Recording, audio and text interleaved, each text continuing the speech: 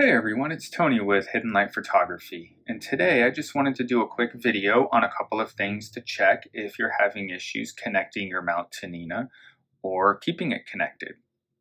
So the first thing I always recommend if you're having issues with your mount dropping connection from Nina, what you want to do is go to search down at the bottom and type in USB. And you'll see USB settings pop up. If it doesn't, just continue typing it. And when it pops up, just click on it. And this right here is what you want to focus on, USB battery saver. What this does is when your screen turns off, it'll actually shut down your USB port to conserve power. And you obviously don't want that to happen because whatever's connected to your USB port, mount, camera, um, it'll actually shut it down, and Nina can no longer communicate. The next thing to check, back into search, go ahead and type in battery, and you'll see battery saver overview pop up or something along those lines. If not, just continue typing until you see it. Click on that, go to system, and then scroll down to power and battery, screen and sleep, and I have all of these set to never. And what these are is your screen turning off or your device going to sleep after uh, a certain amount of time, whether it be on battery power or plugged in.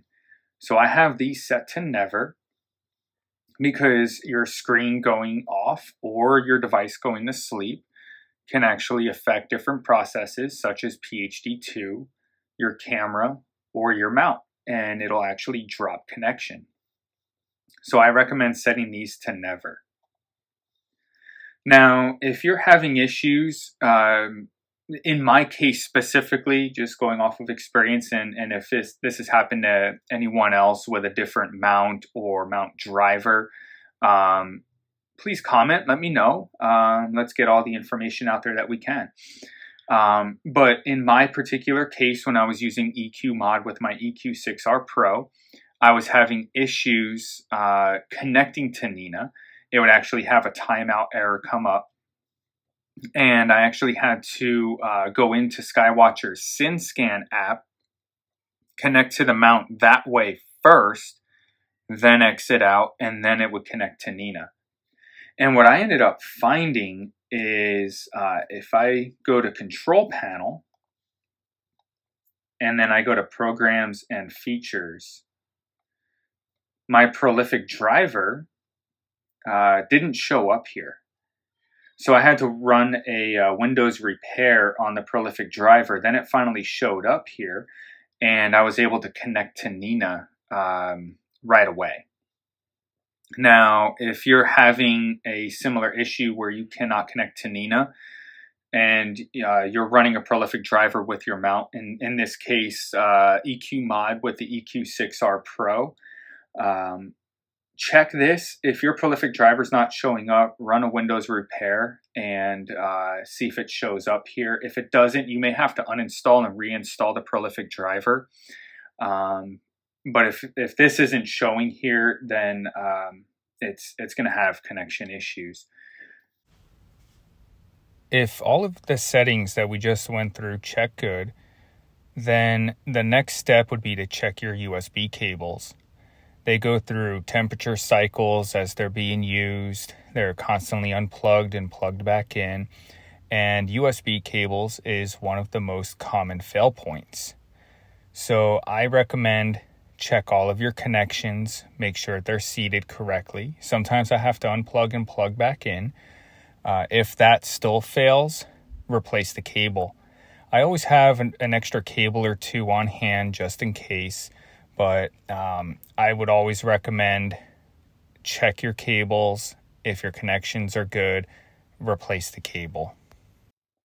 If you are uh running into these issues still and all of this checks out, you're going to need to do some more diagnostic work. And what you need to do then is go into Event Viewer and, uh, you know, down to search, start typing in Event Viewer. If you don't see it pop up, just continue typing.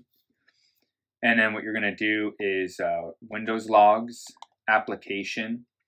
And this is where if you're having a mount drop issue and um, everything is checking out, you're going to want to kind of get the time that uh, it's happening. And it's, it's very easy to do. Uh, what you do is actually go into your PHD2 log viewer and uh, trace the log from the night that you had the drop and you'll actually see where your Dec axis and RA axis just start going way out of whack. That that's the time that your mount disconnected and notate that time and then you'll come into here and you'll notate the times here. Scroll down to that time and you'll come across the error here and uh, you see I actually just got an error here. I have no idea what that is, but um, it'll tell you information about what happened and um, you can do some more in-depth diagnostics that way. So I hope you found this helpful.